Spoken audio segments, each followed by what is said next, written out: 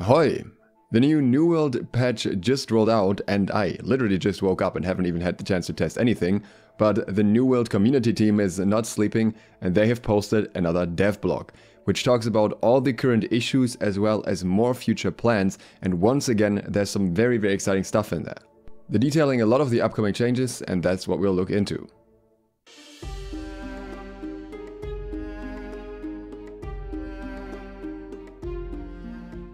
Now, this post is very long, and I will try and summarize it as best as possible while making sure that the information remains accurate. The first topic is server transfers. These should now be open to all players, and New World is also working on a region to region transfer option, but this will take more time. However, if you want to play with your friends, there's something else to keep in mind, and that is that a full server status now exists for very crowded servers. This one will prevent you from creating new characters, but there will be a 24 hour warning before a server is marked as full. So if your friends are on a popular server and you're planning to make a new character, then you have a little bit of a heads up if you might not be able to do that anymore. On the topic of economy and deflation, the devs say that they want a player-driven economy with minimal NPC interaction where gold is valuable to all players, even endgame players.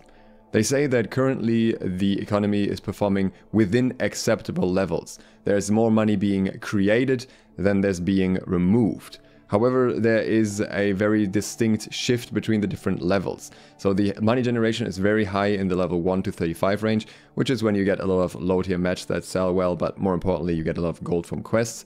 It's decent in the 40 to 59 level range, and it narrows at 60. So the more players will have a level 60, the more pressure will be put on the economy, and we can see that in these graphs, we can see the development of the economy over time. The devs are aware that this may become an issue and they're monitoring these values closely to make sure that you don't end up with more money leaving the market than entering the market per day. They recently made two changes which they think will affect this. The first one is enabling the tier 5 Azoth staff, which they think is a good source of gold per hour. I'd argue it's not particularly effective, but hey, at least it's a way to get some gold. The more important one, in my opinion, is that they turned on Outpost Rush, which they talk about as well, which they say is a great source of income and will really help endgame players. And I agree with this, because Outpost Rush especially brings money into the economy from players that are not otherwise focused on generating money. It's a very easy way to do that, especially now if the issues are actually fixed. Devs also remind everyone that there's a big gold bonus, which is a 10 times gold bonus, for your first 3 faction missions each day. They're aware that this is not well communicated in the interface, so they're working on improving that. I actually wasn't aware of that, I thought it was just a faction token bonus, so yeah, the more you know. Given that some of the higher level faction missions actually have pretty decent base gold values, this should be a very good extra source of income if you consistently use this. However, there are further economy changes that are coming in the major release in November. We don't know when exactly that will be. It's not going to be another weekly patch, but this will change a lot about this as well. In that update, the durability lost from PvP death is reduced by 10%. I guess that actually refers to the total durability, which would mean that it's basically nothing at that point. But yeah, we'll have to see how exactly they're interpreting this 10% here. In the same patch, the housing tax period will also be extended from 5 to 7 days without increasing the amount that you have to pay, so that's going to be a little bit cheaper. The attribute respec cost being reduced by 60% is also mentioned here, but that actually already happened. At the same time, the amount of honey gained from apiaries and the amount of milk from the cows is reduced by 50 and 65% respectively, because there was just a little bit too much of it because people just picked it up all the time while in towns. A very important major change that is coming in that patch is that all trading posts will be linked. The notes that come along with this are Fees for buy and sell orders are defined by the settlement that you're posting from, which would mean that it makes sense to post from a settlement that your faction owns. And likewise, transaction taxes on purchases you make are defined by the settlement in which you are making the purchase. So buying and selling in your faction areas, I guess, or wherever it's cheap. Items listed in sell orders that expire are returned to the settlement from which they were posted. And also you can no longer place items on the trading post for 28 days, the maximum is now 14 days. These are obviously sweeping changes to the economy that will spread out the player base across all towns much more. Some people may stay closer to the high level areas now, especially if their faction owns something there, if the rates are good there then it also will make it so that it can't really be used to corner specific markets in specific areas anymore. Like, for example, selling something that is needed for a quest in a specific area or selling something that is easier or harder to farm in certain areas. So I expect a lot of prices to actually drop a fair bit because everything's connected now and somebody will be in some place and have easy access to something at some point. I will say that I understand why this change was made. It just helps spread the economy across the world a lot more so that all territories can get a decent amount of income. But I think it will also spread out the player base and it kind of takes away a little bit from that, hey, we can still go to low level areas and have a purpose there once we're higher level because you still have your trading going on there. So we'll see how this develops. Obviously, some people will stay in certain areas for resources or because of their faction and so on. I think it's a change that definitely has pros and cons to it, but especially at the current state where you have those major trading hubs that just become more unstable because of it as well, it makes sense to space things out a little bit more, at least for now. Maybe at a later stage they can return to a more, well, somewhat secluded trading system, but then maybe spread out the income more or something. Uh, we'll see how that can be solved at that point, but for now I think this solution is probably useful, but I wouldn't necessarily look at it as the best permanent one. In the same breath, they announced more details about another change that I'm absolutely excited for, which is the cost reduction for expedition tuning orbs or dungeon keys. The coin gained from expedition bosses starting at Starstone Barrows is increased by 25% and ramps up to endgame expeditions by 100% per boss. So the expeditions may actually become a decent way to make money. Additionally, the coin cost of each of the tuning orbs will be reduced, and the number of corruption shards players earn from minor and major corrupted breaches will be increased. As of now, you don't earn any shards from minor corrupted breaches, so I'm guessing you will actually get shards from that now at a smaller quantity or a lower uh, tier basically, and you get more from the major ones as well. So it seems like they're not going to reduce the mat requirements, but instead give you more mats, which is a bit unfortunate for the people who have already been farming them for a long time, because they are not going to get much benefit out of this, but hey, at least it's improving in some way. The coin cost of chisels has also been reduced by 20-50%, that also went through in this patch already. So all in all, running expeditions should be a lot more possible and a lot cheaper, so that's great. Also, there were a few bugs with repair kits that are going to be fixed, one being that certain attribute perk mods could not be used in crafting repair kits, and the other one being that repair kits actually ended up costing you gold when used, and they should only cost gold uh, when being crafted, so that should be solved too. Next, the devs address economy exploits and coin farming. Here they just once again emphasize that a lot of these players that have exploited things have now been banned. Uh, they go into a variety of different details regarding that, but that is something they already kind of covered in the patch notes anyways, so I don't think that needs to be fully repeated here. But again, the gold that you gain in early game is shifted a little bit and you can not farm as easily with new characters now because you can't transfer as quickly uh, and people get punished for using any of the exploits to gain additional gold in any way. On the topic of Outpost Rush, there was an issue where a few players ended up in a permanent death state after Outpost Rush, where they couldn't respawn, they couldn't unstuck or anything, and they were just basically floating around in brimstone sands. This is something they still have an issue identifying, and they're still trying to figure this out, but it should be solved better now. Usually a hard restart should fix it, and if it doesn't fix it for you, submit a ticket and it should be addressed relatively quickly. The devs also address client-side versus server-side authority. This is a topic I want to address separately because I have seen some very interesting changes in that regard lately. The main takeaway from this is that they emphasize that basically almost all decisions are made server-side and there were some outlier cases where the server was waiting for an input from client-side that caused a variety of the issue that we have seen. These should be mostly resolved now according to them and we will see how that goes in the long run. There's still some interesting stuff regarding that that I will talk about separate from this. On the topic of moderation and the code of conduct, they say that player reports are always going to a person and being reviewed. This is kind of contrasting with some earlier information that one of their previous employees uh, wrote on the forums, which caused a lot of confusion in that regard. So again, something that is really just not clear to us. We can't really know the full picture here because we don't have the internal insights. However, they're saying that they're increasing the number of moderators, they have a growing army of moderators, and they acknowledge that they can make mistakes too. They describe one scenario more specifically here, and that is mass reporting in the context of wars.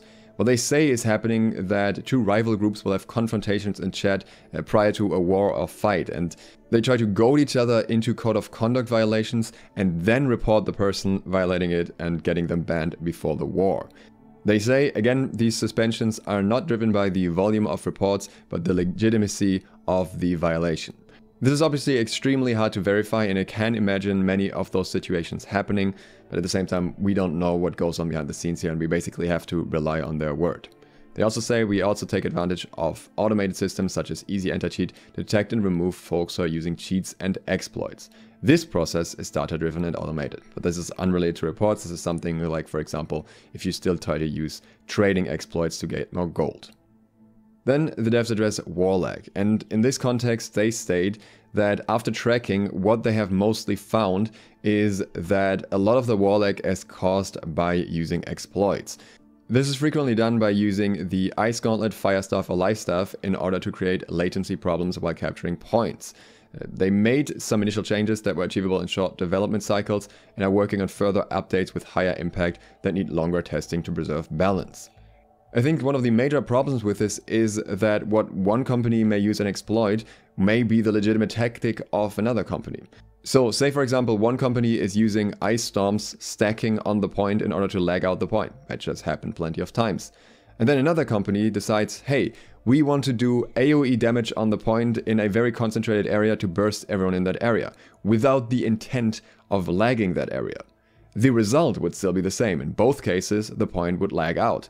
In one case, people are trying to lag the point out. In another case, they're trying to run a strategy that revolves around big AoE in a concentrated area.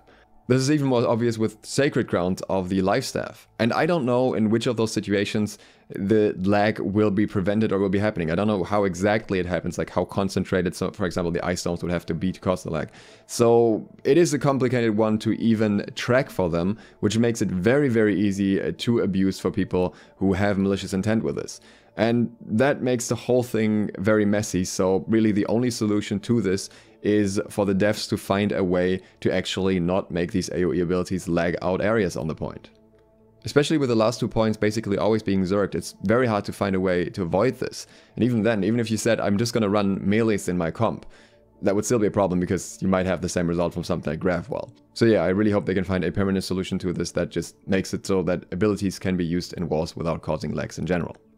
On the topic of invasion difficulty and participation, they just mentioned once again that the progress in an invasion does not affect the number of downgrades, but the number of downgrades are tied to the territory level. So the higher the level of your territory, the more downgrades you will get. They also state individually you will be more likely to get better awards the more you contribute to your team. So contribute to your fort's defense and make sure you're giving the corrupted all you got. This, again, super confusing to me because at the moment, the way they measure performance in wars is absolutely atrocious from a tank perspective. Most of the stats that tanks have, like CC applied or damage blocked, doesn't even show up in the charts. So obviously you're not going to be high on the charts or have a high impact measurement under the current metrics. So I don't think this should be a thing at all.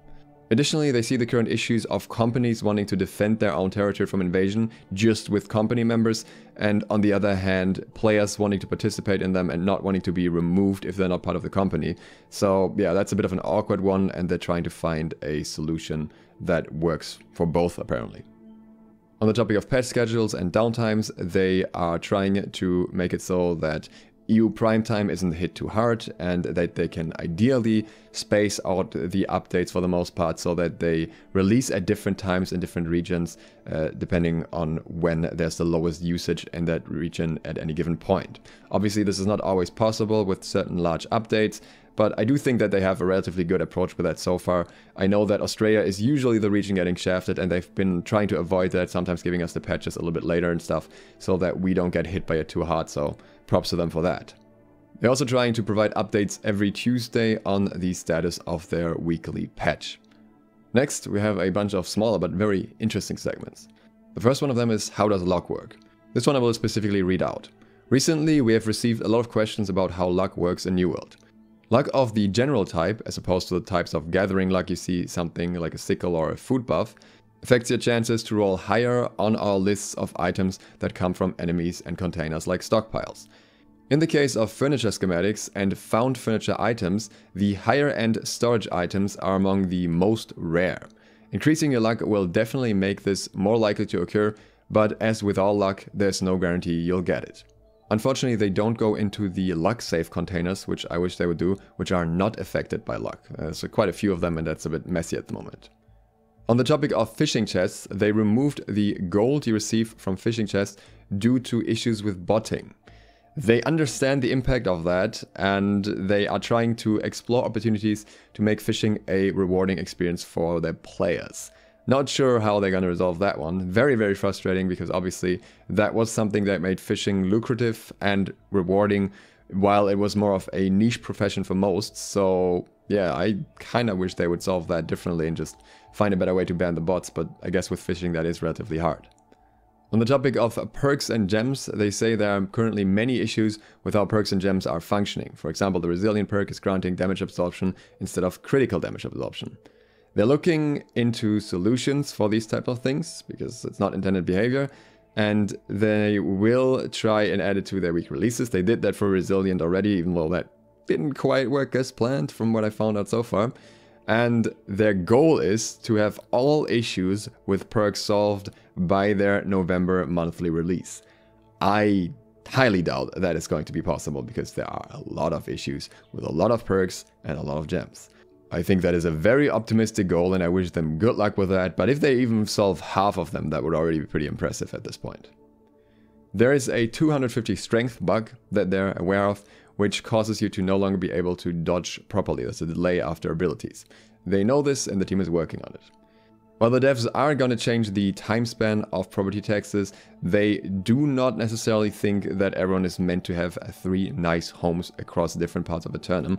So they say this is not meant to be easily achievable. So they will continue to monitor the feedback and data, but at the moment they don't see cause for change with this one. So maybe they just want you to have one big house and two smaller ones for now, unless you have particularly good reasons to have three. Next I mentioned some things like the faction tokens bug, world clock bug, images in chat and crouching bug. All of these seem to have been resolved at this point however, so we don't really need to go in detail anymore. They were already addressed in previous patches and so on. The next segment, they address the high watermark system, but this is just a copy-paste of something they have previously already written down quite a few days ago. So that I'm not going to go into again, but they do address communication as well. After their relatively rocky start, they're trying to improve their communication. They introduced a dev corner where you can see these types of updates, exactly like this one. They made a commitment to post a notice every Tuesday for the status of the weekly patches, and they will provide mega threads for every weekly update for feedback and bug reporting. They're also trying to generally communicate more frequently, something that was really noticeable across the past few days. I think it's very good that they're addressing the issues and they're talking about the plans of what they want to do with them. So I think in that regard, things are really moving in the right direction. And on the topic of other updates, they also posted separately, not in this particular article, but in a separate one, that family sharing on Steam will now be disabled to prevent it being abused by bots, gold sellers, and ban evaders. They said this decision was not taken lightly, and for players who utilize family sharing for a valid reason, we will update this post with instructions for your assistance. Though it seems like there should still be the possibility to somehow use this if you're actually a real person using this, but I would say 90% of the people using it were probably not real people or were abusing it in some way or another. So I'm glad that they're taking this step. This is what most of the people that are familiar with the duping things suggested, saying there's basically no way around it because otherwise it's very, very easy to avoid bans. Though apparently they have banned the account that shared with the family sharing one in some cases as well. So we'll see if that is something that has happened on a larger scale. If you enjoyed this summary and you'd like to hear more like it, then please consider subscribing and clicking the bell so you get notified of upcoming videos. In the next days, we'll talk about an interesting way to make more Void Ore, as well as other high-level mats, and we'll also talk about a lot more in-depth mechanic stuff that I've been testing, so you can look forward to that. I'm really excited about what's coming next. And obviously we'll also look a little bit further into the patch changes and what has actually changed and hasn't changed. Thank you very much for watching. I hope to see you for the next one soon. Duke Sloth, out.